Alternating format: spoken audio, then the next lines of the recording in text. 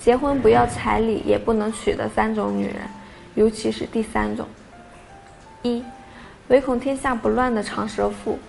这种女人平日闲来无事，聊天的内容无不是谈论没有事实作为依据的消息，未经核实就将别人的事情以讹传讹，谈论起来津津乐道、绘声绘色，并且见不得别人好，还会想方设法挑拨离间。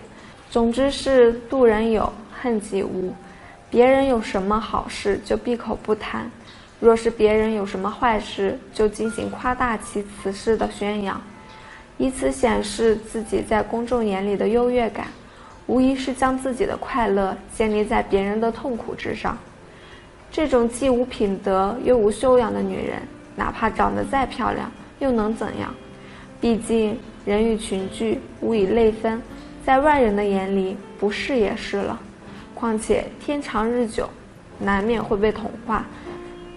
最好还是退避三舍，以免自己也成了被爆料的对象。二蛮不讲理的女人，这种女人的性情不敢恭维，遇事无论大小都会引起她的情绪波动，甚至是大起大落。平日善于以争吵的方式解决问题，总之有理说不清，只以嗓门大小论对错，可想而知。婚后的生活肯定是小吵天天有，大吵三六九，恐怕从她进门的那一天起，家将永无宁日。这种女人不是泼妇，胜是泼妇。虽然女人是水，水主财，但是水需要平静才会使得家庭兴旺和聚财。如若每日洪水浪滔天，可想而知，即便仅有的一点家产也会被冲走。进而会影响到家庭的长远运势。毕竟娶一好女可以兴三代，否则几乎百害而无一利。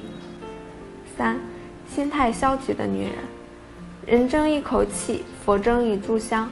男人在外打拼，需要女人在家为他摇旗呐喊和加油打气。唯有这样，男人才会干劲十足。拼搏的动力源泉是能看到未来的希望。如若女人每日以消极的心态面对男人，认为人生无望，一天到晚唉声叹气，男人也会被日复一日的感染，并且他还用消极的行为和语言打消男人的积极性。